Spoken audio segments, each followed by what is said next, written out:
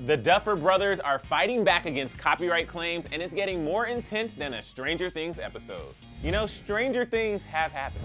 It's safe to say that everyone has seen at least one episode of Stranger Things in their lifetime. The hit Netflix show aired in 2016, and the stars have been in the spotlight ever since. And we can't think too hard about the fact that we may not know Millie Bobby Brown or Finn Wolfhard if it wasn't for the show. But one reason why audiences are so attracted to the show is because of the unique storyline that evokes nostalgia, not to mention the perfect amount of jump scares and suspense. Well, Ross and Matt Duffer, the brothers who created and write and direct the show, have become super well known for their creation, but one person isn't too happy with them. So last month, the Duffer brothers were hit with a lawsuit from filmmaker Charlie Kessler, who accuses the brothers of stealing ideas for their Netflix show.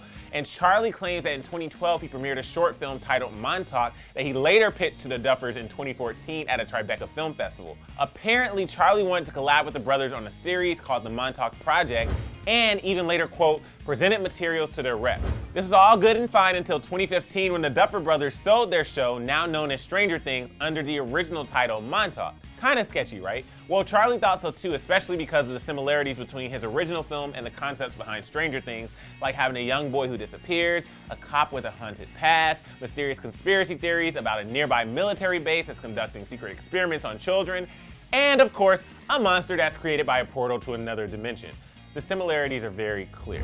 So Charlie is currently demanding both monetary damages and a jury trial, but the Duffer brothers aren't having it. Their attorney, Alex Kohner, issued a statement yesterday saying, quote, Mr. Kessler's claim is completely meritless. He had no connection to the creation or development of Stranger Things. The Duffer brothers have neither seen Mr. Kessler's short film nor discussed any project with him. This is just an attempt to profit from other people's creativity and hard work. Okay, we don't really know what to believe, but we do know that we're curious to see how this all pans out. So the question is, do you think that the Duffer Brothers copied this idea, or is Charlie trying to profit off of the Stranger Things success? Let us know what you think in the comment section below, and then click right over here to see our latest episode of Get Jacked. All right, guys, I'm your host, Emil Ennis Jr. You can find me at Emil Ennis Jr. online. Don't forget to subscribe to Clevver, and of course, I will see you soon.